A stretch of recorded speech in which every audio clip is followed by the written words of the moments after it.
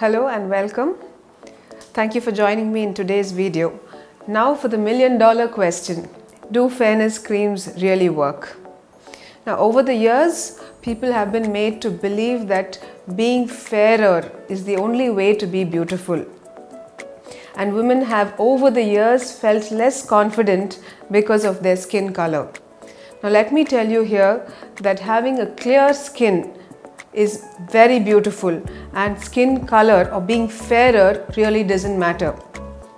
And thanks to the media that being fairer and being fairer is being more important than having a clear skin. So now let's get a better understanding of fairness creams. Now most fairness creams do contain some amount of steroids.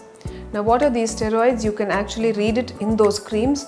Clobetasol, clobetasone, mometasone, desonide. Now these are uh, harmful substances which are present in these creams and over long term use can damage your skin. Now these drugs have also been classified as Schedule H by the central government which means they cannot be sold over the counter and you will need a proper doctor's prescription to use these medications. Now what do these steroids actually do to the skin? They can produce thinning of skin over long term use and if the skin becomes very thin, the underlying blood vessels can be seen. There will be redness because the skin blood vessels can also dilate. The skin can develop burning sensation to sunlight. There can be excessive uh, hair growth on the face by using these creams. It's called hypertrichosis.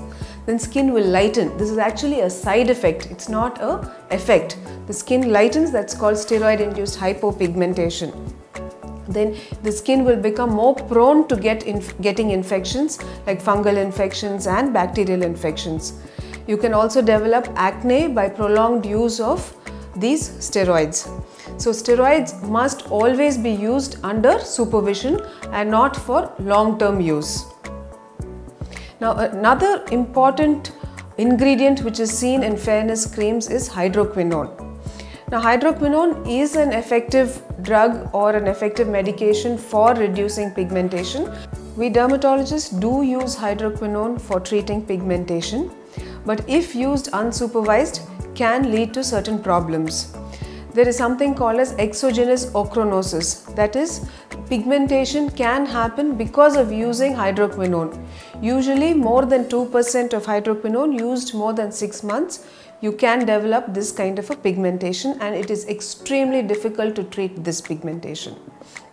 So it is mandatory to go through the products that you use especially in fairness creams that do they contain steroids do they contain hydroquinone what what are the other products uh, what are the other ingredients of these creams is very important before you start using a cream.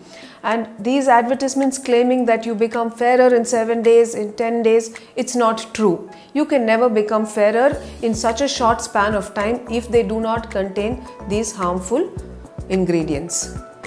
I hope you have got your answers now that skin fairness creams really do not help much.